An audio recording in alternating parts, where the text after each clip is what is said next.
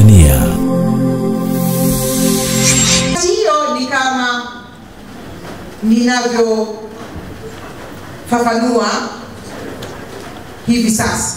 Kwanza tuna mkakati wa kutangaza utalii kusini, yani Tanzania Southern Circuit Marketing and Promotion Strategy, lakini pia tuna mkakati wa kuendeleza utalii wa utamaduni kusini ujulikanao kama Tanzania Cultural Experiences Marketing Strategy. Huku kusini tuna utajiri mwingi sana wa utamaduni. Tuna ngoma, tuna mila, tuna vyakula, tuna desturi.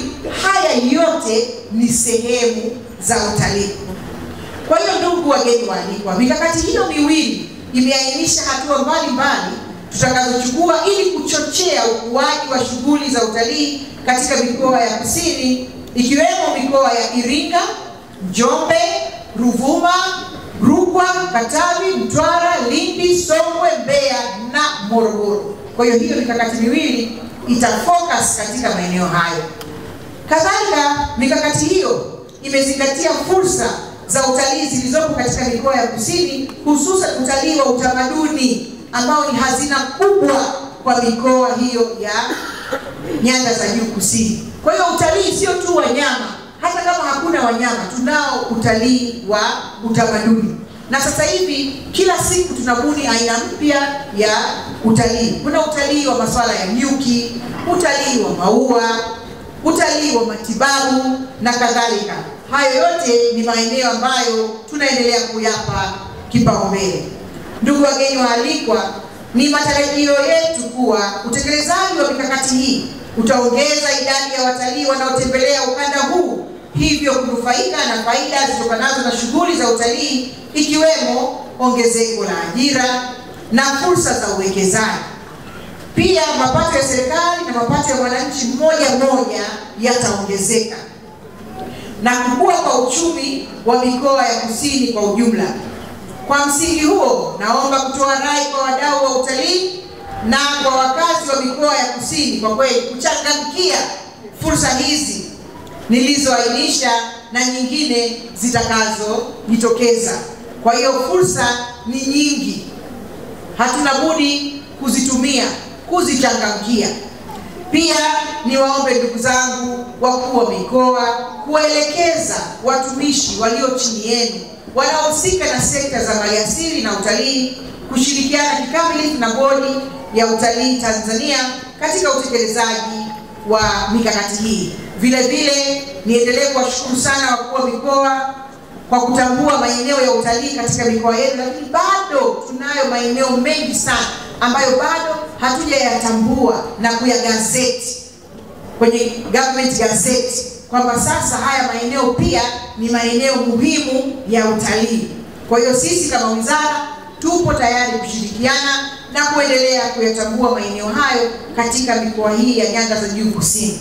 Vile vile niwaombe waheshimiwa wadau na viongozi wengine mliopo hapa kuungana na Mheshimiwa Rais Samia Suluhu Hassan katika kuendeleza programu hii ya Tanzania The Royal Tour na pia sisi Wizara ya Maliasili na Utalii tupo tayari, milango ya wizara ipo wazi, tupo tayari kushirikiana na wadau wote katika kuendeleza kubuni mikakati mbalimbali na mazao mbalimbali ya masuala ya utalii.